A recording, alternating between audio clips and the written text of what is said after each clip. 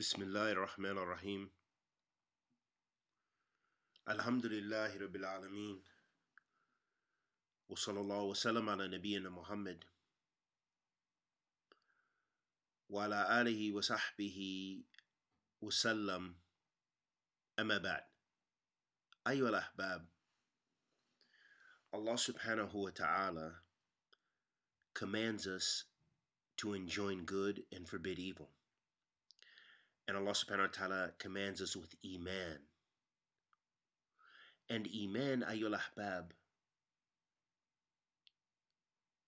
or faith, in Islam is comprised of three. Iman is comp- comprised of belief in the heart, which is the origin of Iman, statements of the tongue, and actions of the limbs. All of those things comprise Iman in Islam. And Allah subhanahu wa ta'ala orders us with Iman and to walk straight or be steadfast to practice that which we claim to believe. Allah subhanahu wa ta'ala says, Verily, those who say, Our Rabb, our Rabb is Allah, meaning our Lord is Allah, and thereafter stand firm and straight. On them shall be no fear, nor shall they grieve. Such shall be the dwellers of Jannah, abiding therein forever, a reward for what they used to do.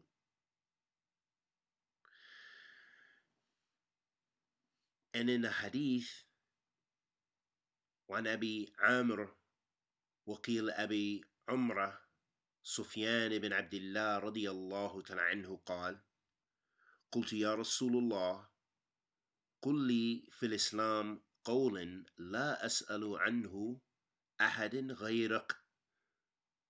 قال قل آمنت بالله ثم استقم. رواه مسلم. the hadith of Sufyan ibn Abdullah radiallahu anhu, he said, O Messenger of Allah sallallahu alaihi wasallam, tell me something in Islam which I cannot ask anyone else about. He, the Prophet alayhi salatu wasalam, said, Say, I believe in Allah, and then be steadfast and that was collected in Sahih Muslim. In this hadith, Ayyul Ahbab, it makes clear for us the importance of being steadfast and straight with Iman.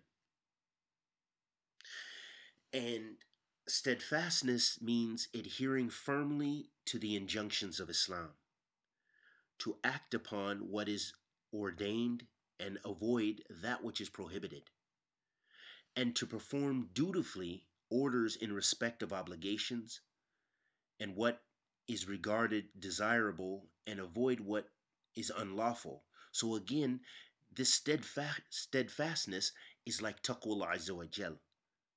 It is implementing the taqwa because taqwa, ayyul ahbab, fearing Allah subhanahu wa ta'ala, is adhering to the commandments of Allah subhanahu wa ta'ala and avoiding his prohibitions. So when Allah subhanahu wa ta'ala, when we hear during the khutbah to Hajjah, Ya taqatihi wa la tamutunna illa wa antum muslimun. Where Allah subhanahu wa ta'ala says in the Quran, O you mankind, fear Allah, His rightful amount of fear I mean, being fully fearful of Allah subhanahu wa ta'ala. Haqqa And do not die except in a state as believers, as Muslims. وَلَا تَمُتُنَّ إِلَّا وَأَنْتُمْ مُسْلِمُونَ The shahid or the point here, Ayal Ahbab, was mentioning the taqwa, and that it is doing the commandments of Allah and avoiding His prohibitions. And this is also what it means to be steadfast. Steadfast upon the sunnah of the Messenger of Allah sallallahu alaihi wasallam, steadfast upon your your deen, practicing those things which Allah subhanahu wa ta'ala wants you to practice, seeking Islamic knowledge to help you. Because without knowledge, you don't know what you you won't be able to discern between truth and falsehood. You won't be able to discern between bid'ah and sunnah, shirk wa tawheed. All of that comes with ilm. It comes with knowledge. It comes from studying. It comes from listening to the to the ulama, to the scholars of Islam who know the text, who have broad, in-depth knowledge about the text. They know the Kitabillah, they know Sunnat Rasul sallallahu alayhi wasallam, and Allah has favored them and favored them to practice, to have that istiqamah, is to be steadfast. And that's why Allah subhanahu wa ta'ala says that the most fearful amongst my slaves is the ulama. Akhshal ibadi al ulama. That they're the most God fearing. They're the ones who fear Allah the most. Why? Because they have the ilm, they have the knowledge, and they practice that knowledge. So ayal ahbab, istiqama, being steadfast. So the real iman, as we mentioned, is comprised of those three components we already mentioned the heart, the tongue, and deeds of the limbs. So faith is not merely an expression of the Shahada, it's not sufficient. The real faith is the one which is coupled with its actual practice because practice of religion is in fact the fruit of faith. It's the fruit of Iman, but it's also the essence of Iman. It's a part of Iman. A tree which does not bear any fruit has no value. Similarly, faith becomes meaningless without practice. Steadfast, steadfastness is the mark of perfect Iman because it's a component of Iman. So, Ayyul Ahbab, be straight and be steadfast and do your best not to waver. And we ask Allah the Almighty to bless us all with ikhlas, with thabat.